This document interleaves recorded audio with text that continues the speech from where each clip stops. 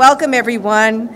Um, I'm delighted to be here today with the Lieutenant Governor Kim Driscoll, our Secretary of Public Safety and Security Terrence Reidy, Deputy Secretary Sue Terry, Chief Legal Counsel Paige Scott Reed, Deputy Legal Counsel Adam Hornstein. It's an honor to be joined by our Attorney General Andrea Campbell and Senate President Karen Spilka. I also want to recognize members of the Governor's Council legislative leaders, including members of the Black and Latino Caucus, district attorneys, sheriffs, police chiefs, including Newton Chief John Carmichael, leaders from the legal community, members of the Cannabis Control Commission, Cannabis Advisory Board, and the Cannabis Social Equity Board, cannabis entrepreneurs, including Devin Alexander and Danny Vasquez, community advocates, equity champions, and faith leaders. I'm grateful to everyone who is here today. You represent the deep commitment to justice that runs throughout our state, and your presence is a testament to the significance of what we are going to announce. So I will get right to the point.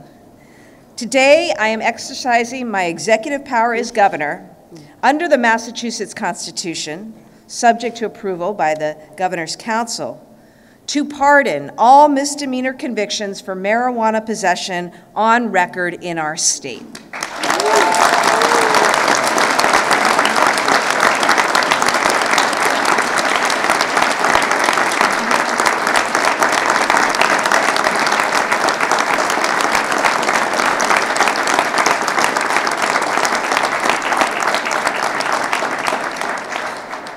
With this action, Massachusetts, will be the first state to take action since President Biden pardoned federal marijuana convictions and called on governors to follow suit.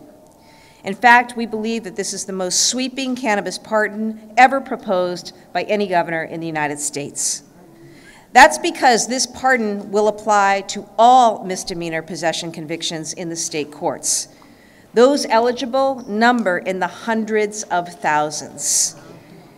Also, and importantly, they will not have to take any action themselves in the vast majority of these cases. We'll simply work with the court system and through the paperwork to update the records. Ultimately, anyone so wishing can receive and request and receive a certificate attesting to their pardon if they choose. The reason we do this is simple justice requires it. Massachusetts decriminalized possession for personal use back in 2008 legalized it in 2016. Yet thousands of people are still living with a conviction on their records.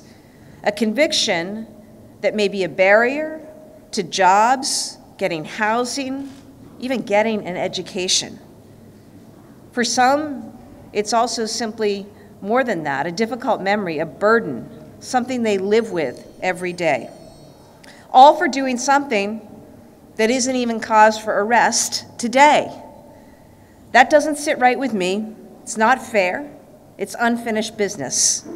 Knowing we have the power to lift that burden, we should do something about it. As Dr. King said, the time is always right to do what is right. So let's do the right thing now. This pardon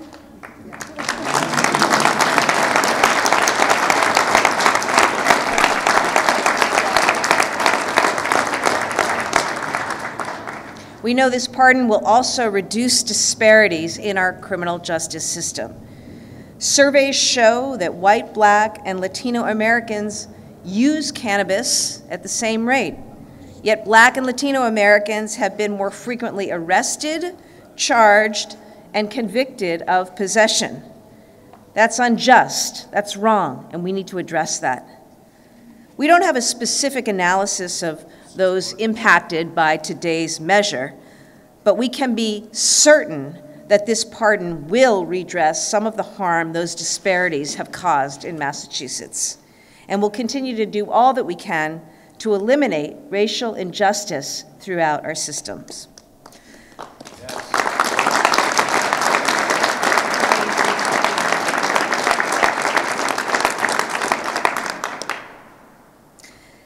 And this action today is also in the context of other actions that our administration has taken. Clemency has been a priority for our administration. It's why we were the first administration in nearly four decades to issue pardons in our first year. So far, working with the Governor's Council, we've pardoned 13 individuals who long ago paid for their mistakes. We also issued this year clemency guidelines, revised clemency guidelines that call for fairness and compassion and address inequities. To me, justice is about our collective as well as individual accountability. That's what today represents when the governor takes action like this on behalf of the Commonwealth of Massachusetts. It's a collective commitment to greater justice, to greater fairness in our system. It requires looking back and righting wrongs. We do this to build more trust as we move forward. That's what we're doing now as a state. We look forward to working with the Governor's Council as they advise and consent and consider this action. I want to conclude by thanking all of those so many of you here and out there I see who have long advocated for this kind of justice. I also want to recognize President Biden's leadership. We are proud to answer his call. I'd also like to recognize the many members of our administration and partners across state government who've worked so hard and will continue to work hard to make this intention a reality. It is now my honor to introduce our Senate President, Karen Spilka.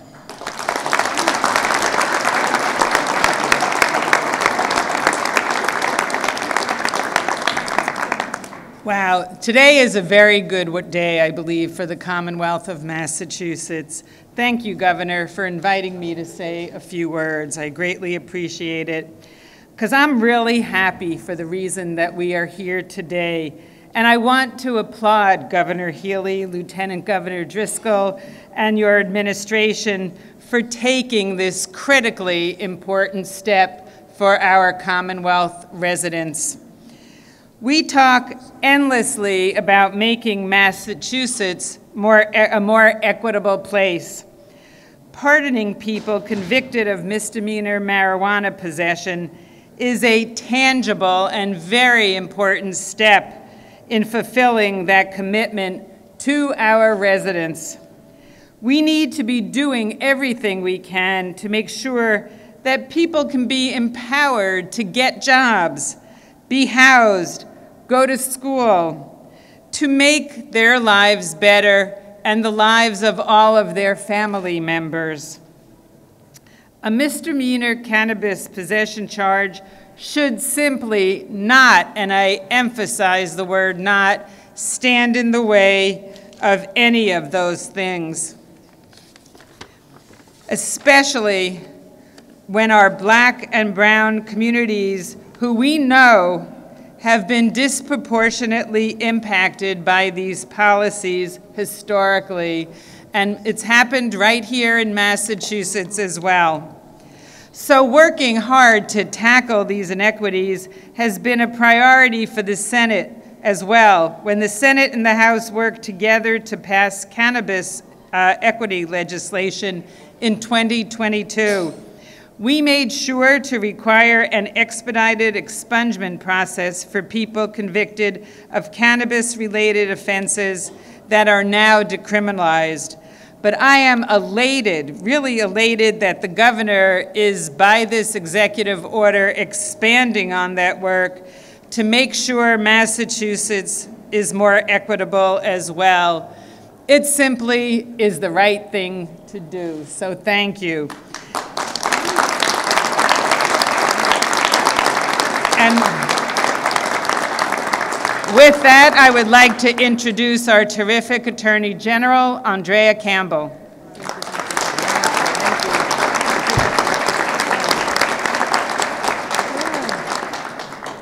Thank you, Senate President, and of course, thank you to the Governor for your leadership and, and as well as Lieutenant Governor. Thank you all for being here for this frankly historic and necessary and important uh, announcement. I applaud Governor Healey's efforts to rectify historic racial disparities, including, of course, with this proposed action. I also want to thank the Biden and Harris administration for their leadership on this issue, for helping, frankly, set this policy in motion by issuing pardons for simple marijuana possession at the federal level. President Biden urged governors to take action in their own states. And once again, Massachusetts is leading the nation as the first state in this country to answer that call. I'm confident that they will take notice of today's announcement and it will inspire other states to follow. Criminal convictions for simple marijuana possession have serious lifelong consequences, making it nearly impossible to secure housing, obtain a job, be afforded educational and other financial opportunities. These consequences are only compounded when you consider that a disproportionate number of those who have been arrested and convicted for marijuana possession are black and brown people. A 2020 ACLU study report found that in Massachusetts, black people are four times more likely to be arrested for marijuana possession than white residents and white people. And that is not because they engaged more in the possession of marijuana. That same report ranked Massachusetts 18th in the nation for the largest racial disparities in arrests for marijuana possession. Black people have carried the enormous burden of a biased criminal legal system for decades. While these stats are sad and egregious, the Commonwealth, of course, has the ability to do something about it, especially when the possession of marijuana is no longer a crime in our state. Thus, I am extremely proud to stand here with the governor and, of course, lieutenant governor for actually taking action today to rectify that wrong. These pardons will transform the lives of thousands remove barriers allowing them to live with economic dignity, and right past wrong and stigma that these individuals have faced as a result of that record. As Attorney General, I, along with my team, will continue to address injustice, work to close the racial wealth gap, which this action also will contribute to, and of course, this pardon meaningfully moves the Commonwealth in the right direction. We will continue to work with the administration to bring about meaningful legal reform, not only in this context, but also in the context of the Department of Correction and other areas of prison reform. And I'm grateful to have an administration where we can actually work with to be able to get things done. None of us does this work by ourselves, so I too want to thank all of the advocates who are here in this space and those, frankly, who are not here, policymakers, law enforcement, and those with the lived experience for your persistent advocacy over the years for this issue. Thank you. I look forward to working in partnership with each and every one of you. And now I would love to pass it on to our Newton Police Chief, John Carmichael. Thank you all.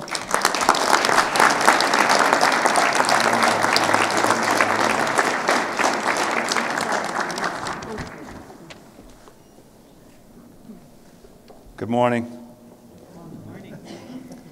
On behalf of the Massachusetts Chiefs of Police Association, my colleagues and I are happy to stand with Governor Healey and her administration in pardoning those whose lives were previously impacted by simple marijuana possession offenses. Governor Healey's pardon provides a fair and impartial response to prior misdemeanor marijuana possession offenses, helping align these past convictions with the current laws of the Commonwealth. I want to note, because it's important, that the so-called war, war on drugs originated back in the 1970s under President Nixon's administration and continued over the following decades. I commend my law enforcement partners for the transformative and collaborative role we now play in mitigating the use of substances in our communities and helping us achieve better police legitimacy. I thank the governor. I thank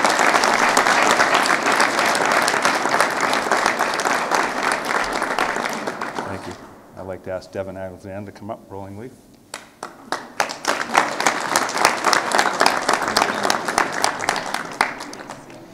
Good morning, everyone. My name is Devin Alexander, and I'm a lifelong resident of Quincy, Massachusetts.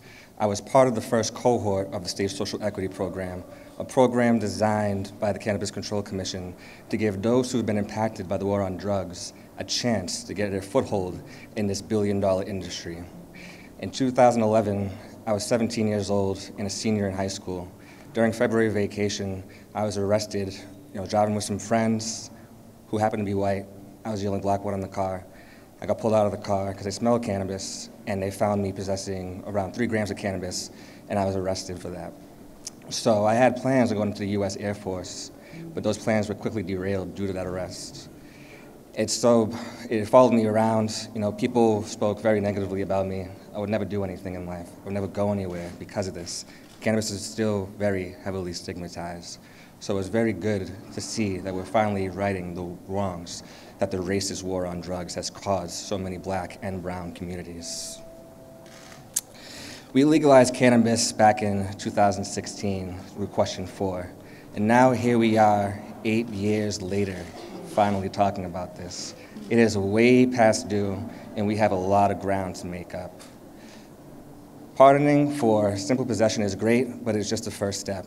We need to get to a point where we pardon individuals for all cannabis related crimes.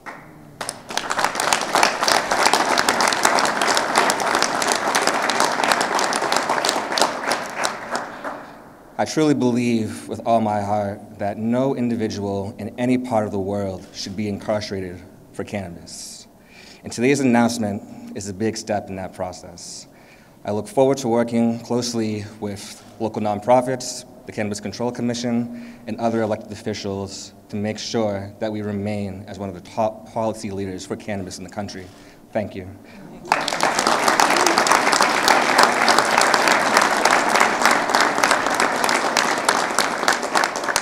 Now, I'd like to introduce Danny Vasquez.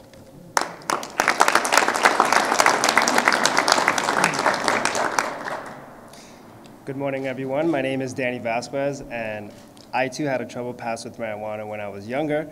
Um, I got into a lot of trouble with the law for possession of marijuana, but I also had an opportunity with great mentors from the Lawrence Boys and Girls Club, most specifically Maureen Kelly, uh, that helped me with support and get me get my life back on track, which led me to get a full scholarship at Northeastern University.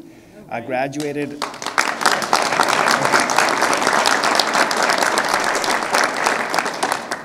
Uh, so I, I, graduated there in 2011. I was also fortunate to have worked and met uh, Ryan Arias, uh, Dominguez, and Mass Cultivate Ed, who helped me uh, seal my record, my juvenile record. Uh, but even before that, um, I avoided applying to certain jobs because I knew that my background would be held against me and I would be automatically disqualified for those jobs.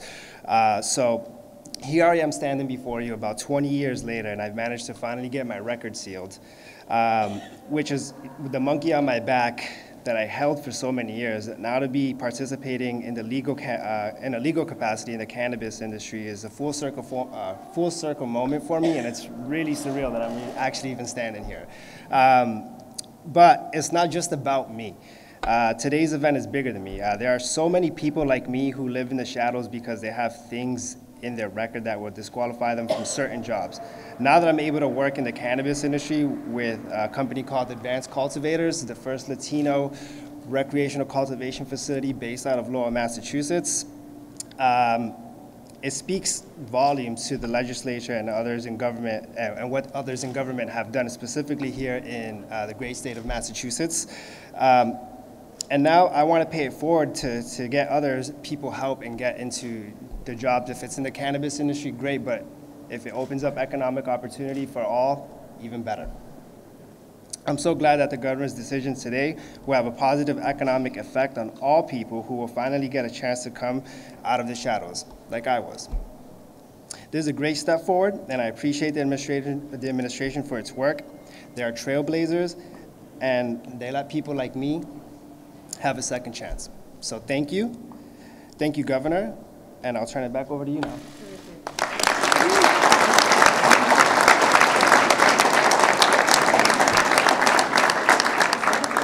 Thank you, thank you so much um, to, to Danny and to Devin in particular for sharing their stories and their experience about uh, what this is about and, and why it's so, so important. And uh, thank you to, to all of our speakers who participated um, as well. I'm happy to, um, to take questions. I just want to, uh, again, acknowledge the work of our team, in particular our Deputy Legal Counsel, Adam Hornstein, who under Paige Scott Reed's leadership really uh, steered us through, navigated a lot of this with, uh, within our administration, with the courts and, and, and others. So many thanks. I'm happy to take questions.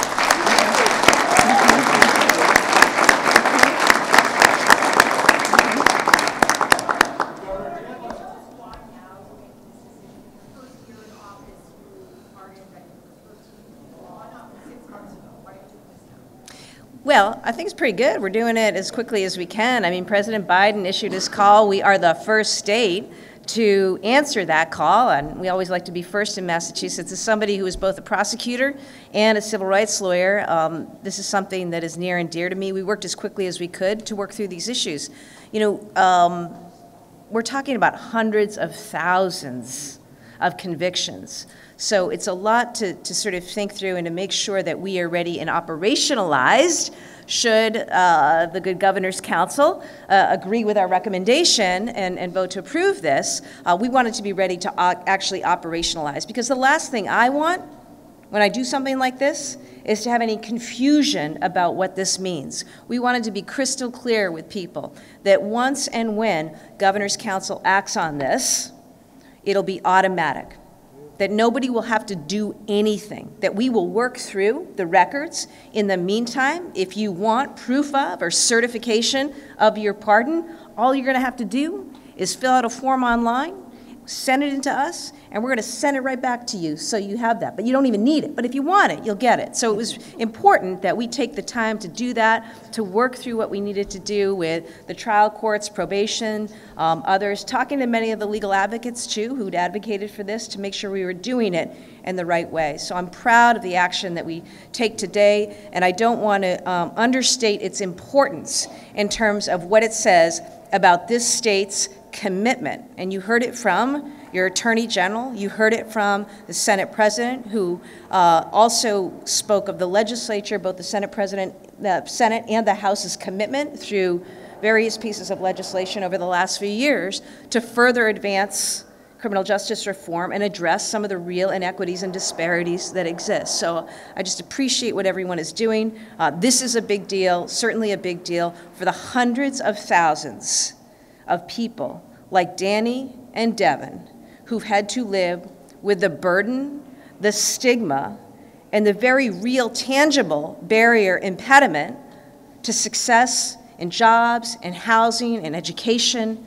and in life. Today, we take the step to, to strip that away. Today's a really good day for Massachusetts. Uh, yeah, I'll go here and then. Will the expungements process take to finally, you know, clear those records? I know you're working with the courts, but what will that process look like?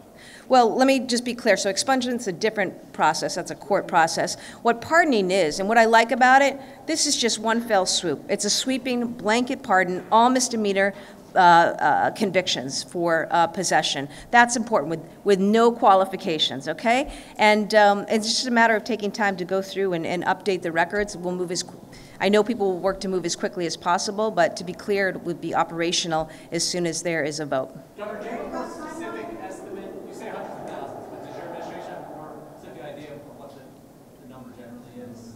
Um, not, no, I don't think we do. Um, not a, not a specific number, but the number is huge. I mean, um, part of it, re- remember, this, this will go back in perpetuity. So, you know, Chief Carmichael referenced the war on drugs in the 1970s. Um, I mean, we're talking about people who maybe for, for decades who've had to live with this on their, their records. So um, I'm, I'm really pleased that we're able to do this. And I I think that the fact that it's hundreds of thousands of people speaks to just the scope of this, right? And the magnitude of, of this action, and frankly, the magnitude of, of what has been um, not right for so long here, for so many in our state. Does this also apply to juvenile cases as well, convictions, or if- if- Yes, yes, it's a blanket, it's a blanket pardon. Yep. Yep. hundreds of thousands? Where, where is that, where are you drawing that estimate?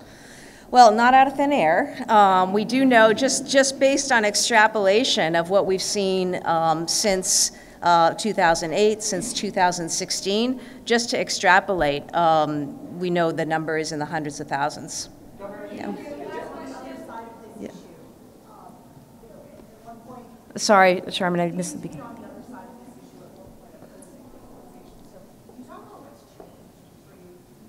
Yeah, well, hopefully people want a governor who's willing to evolve, right? And that we all grow with more understanding. Um, I think, I mean, but I, I think, look, I think we all want to do that as policymakers, right?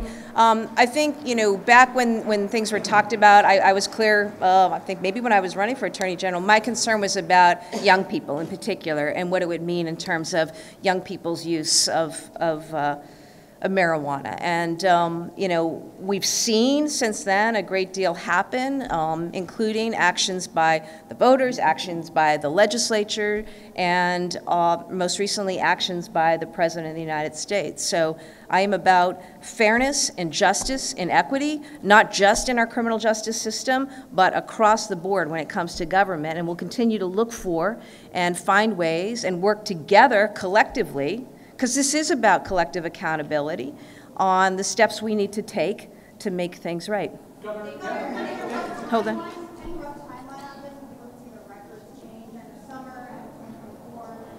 It's going to be, it's going to be automatic. In terms of the timeline that is uh, really relevant, what is relevant is when the Governor's Council is able to convene and uh, cast a vote on this, and uh, should, uh, should they vote favorably on this, it will be automatic. Remember, people will not need to do anything. You will be pardoned, and you will have that cleared from your record. Yeah.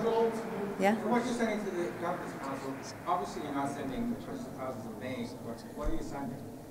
Just document saying this applies to everyone? Yes. Okay, so there's Yeah. A vote on that. Yeah, I mean, that's why, that's why we act in this way. It's a, it's a, it's a blanket pardon. It's a power that I get to author, uh, to get to, um, get to execute as governor, and our legal team will prepare the necessary document and uh, present that to the governor's council, and uh, we look forward to, uh, to their consideration. Yeah.